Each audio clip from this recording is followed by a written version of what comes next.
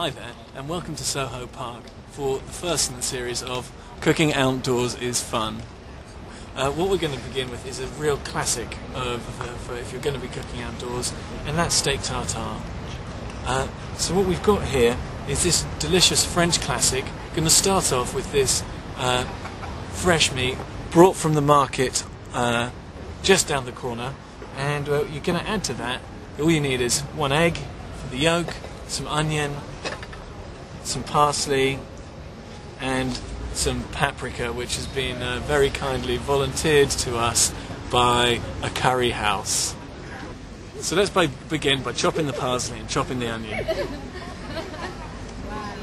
In cookery programs, you'll see them cutting uh, onions really fast. If you try to do that at home, you'll do it for about a minute and then cut your finger.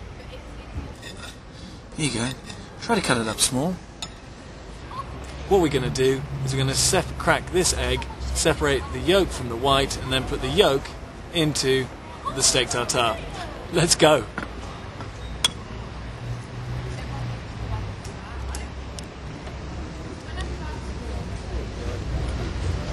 Uh, super gross. You can keep the egg white to use in an egg white omelette.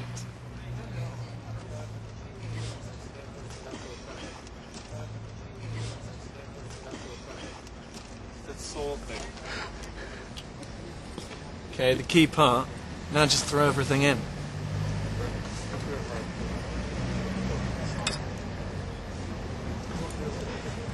These onions have been cut far too large. It's going to be really onion here.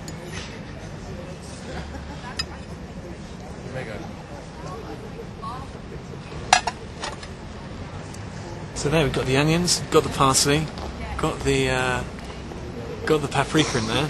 Give it a good old stir. This will be ready in no time.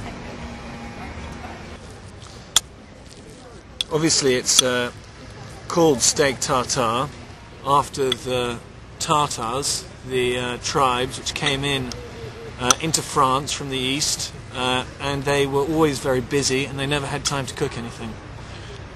It's a true story. The Italians have an expression the eyes must have their share. I'll show you how to make this look gorgeous. So what you do here is you just get the bowl, even just the bowl you prepared in, then you just pat it down like that.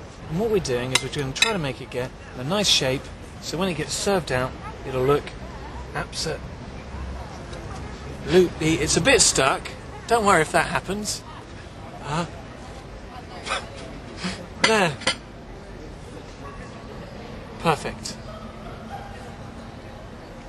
And uh, now we're just going to add a little sprinkle of pepper around the side, over the top. You're almost done. And thank you. There you go. Steak tartare a la Soho Square.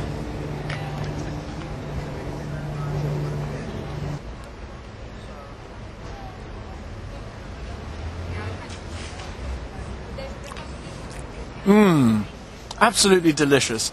You can really he- hear the taste the paprika working with the parsley. What a treat! And in such beautiful surroundings.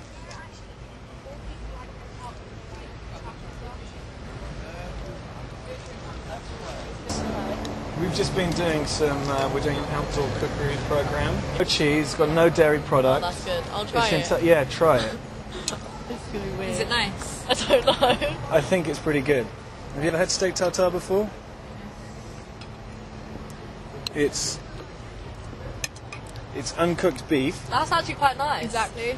That, I've never had that before, but it's decent. That's yeah, that's really nice. It's really nice, is it? Awesome.